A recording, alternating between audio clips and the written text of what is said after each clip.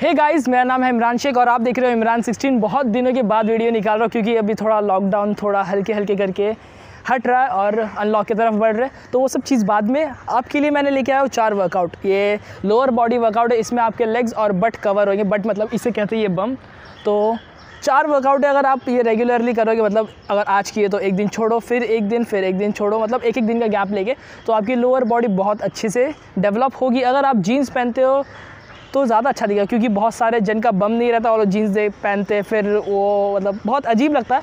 और ये वर्कआउट मैं लड़कियों को भी रेकमेंड करूँगा, क्योंकि लोअर बॉडी सबके पास स्ट्रॉन्ग और अच्छी होनी चाहिए। तो विदाउट टाइम वेस्ट करते हुए, शुरू करते वीडियो को। चलो। वर्कआउट नंबर वन स्क्वाड्स लेकिन सबसे ज़्यादा गलती है स्क्वाड्स में ही होती है तो बहुत ज़्यादा तकलीफ़ होता है, जैसे कि घुटनों में दर्द, फिर चलने फिरने में प्रॉब्लम तो बेसिकली इसको करने का बहुत सिंपल तरीका, अगर आप देखोगे तो देख लो। सबसे पहले तो अपने पैर को, अपने पैरों को शोल्डर लेवल में रखना। मतलब जो ये शोल्डर लेवल से पैर को रखना, पैर को स्ट्रेट नहीं रखना थोड़ा सा वी रखना।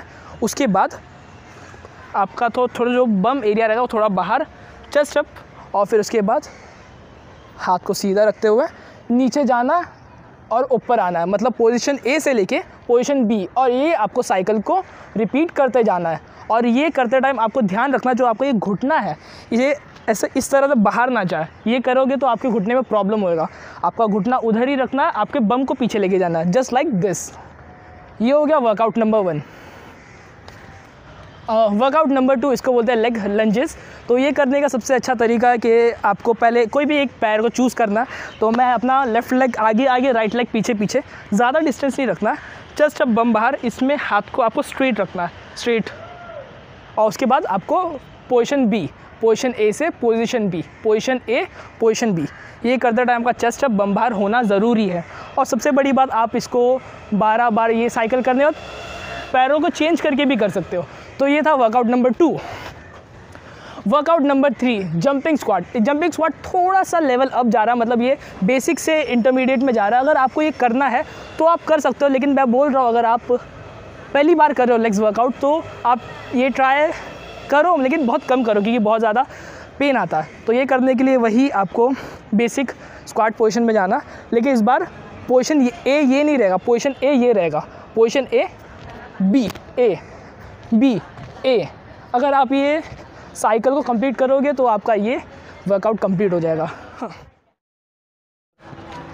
तो वर्कआउट नंबर फोर और ये लास्ट वर्कआउट है, इसके आप, इसमें आपका काफ जो एरिया रहता है, वो कवर होता है। तो इसके लिए आपको कोई भी सपोर्ट वाला एरिया लेना, आपको नॉर्मल शोल्डर पोजीशन में आपके पैर को रखना उसके बाद चेस्ट बम बाहर support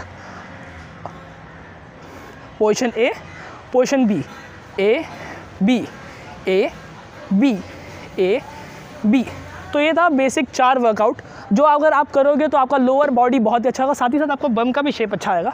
तो बस यही बोलना है, अगर आज करोगे तो 48 एट आवर्स का रेस्ट लो, कुछ भी करो, भाई लाइक करो सब्सक्राइब करो शेयर करो कमेंट करो सपोर्ट करो। इतने मेहनत से वीडियो बना रहा हो आप लोग, लेकिन सपोर्ट नहीं करते तो सपोर्ट किया करो। तब तक के लिए, ये वीडियो के लिए बनाने ठीक है एंड क्रेडिट दे देता हूँ। चेतन और अभिषेक ने ये वीडियो बनाने में हेल्प किया। और मैं हूँ आपका दोस्त इमरान शेख, तब तक के लिए बाय